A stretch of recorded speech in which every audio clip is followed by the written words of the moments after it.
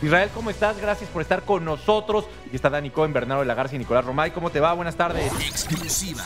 Hola, buenas tardes. Muy bien, gracias a Dios. ¿Ustedes cómo están? Bien, muy bien. Muchísimas gracias por estar con nosotros. Puebla, que arrancó bien, generando, bueno, a ver, no que arrancara bien este torneo, lleva varios torneos haciendo las cosas muy bien, sin embargo, 12 partidos sin ganar, 10 empates, 2 derrotas. ¿Cómo está el plantel? ¿Cómo está el equipo ante esto, Israel?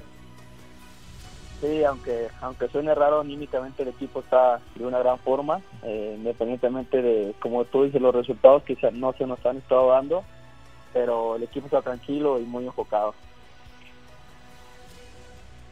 Israel, te saluda con mucho gusto Daniela Cohen. Más allá de lo del Puebla, eh, que has hecho pues eh, las cosas bien, que has sido titular en los últimos torneos, preguntarte un poquito también del tema de selección nacional, porque creo que como futbolista todos tienen la ilusión de llegar un día a representar a, nuestro país en una Copa del Mundo. ¿Tú has tenido esta ilusión los últimos meses por ese llamado del Tata Martino, por esas oportunidades que te han dado? Hoy, ¿cómo está Israel de cara a Qatar? Eh, hola, eh, muy bien, la verdad que me siento tranquilo, me siento enfocado haciendo lo mío, simplemente sabiendo que las decisiones del profesor te van a tomar a su debido momento y como tú dices, obviamente estoy agradecido por la por la oportunidad que me están dando de, de estar, así como en esta convocatoria no tocó, pero ahora sí que estoy tranquilo y enfocado en lo mío. Israel, y por otro lado hablabas de, del Puebla, de, estos empates, del estado anímico que tiene el equipo. Eh, vienen dos partidos complicados, ¿no? Van a cerrar con América, un equipo que está jugando bastante bien.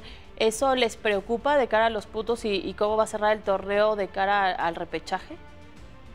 Eh, creo que dentro del plantel nosotros mismos nos hemos motivado ante ante todo esto que ha estado pasando últimamente. Eh, creo que son partidos que nos gustan, el poder enfrentar a rivales grandes del fútbol mexicano y creo que es una gran motivación y obviamente son los equipos con los que uno se, puede estar enfrentando en la liguilla. Entonces creo que nos motiva muchísimo y obviamente estamos emocionados de poderlos enfrentar.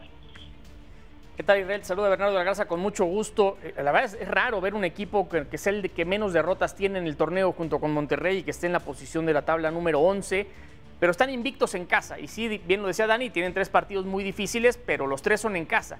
E incluso si fueran tres empates, llegarían a 22 puntos y con eso prácticamente están dentro del, repechaje. ¿Crees que la afición debe estar tranquila considerando ese factor que el Puebla no ha perdido en el Cuauhtémoc y que aunque son rivales como Tigres, América y Pumas, van a sacar los resultados para estar en, en esa fase? Sí, realmente es lo que les hemos transmitido a toda la gente que siempre nos está apoyando, el hecho de que el equipo obviamente está trabajando de la mejor forma, está haciendo lo suyo, al menos esas son las intenciones que tenemos nosotros para poner al equipo en lo más alto y como tú decías, al haber sido invictos desde casa de todo este tiempo y creo que han sido detalles lo que nos ha estado así como sacando puntos, creo que creo que podemos hacer un gran cierre de torneo y obviamente transmitirles también a la afición dentro de la cancha con lo que hagamos primeramente Dios ya el fin de semana. Israel Reyes, muchísimas gracias por tu tiempo. Te mandamos un abrazo, éxito, porque cierre de torneo siempre es complicado. Muchísimas gracias. Hola, muchísimas gracias y que estén súper bien. Les agradezco muchísimo a todos. Gracias.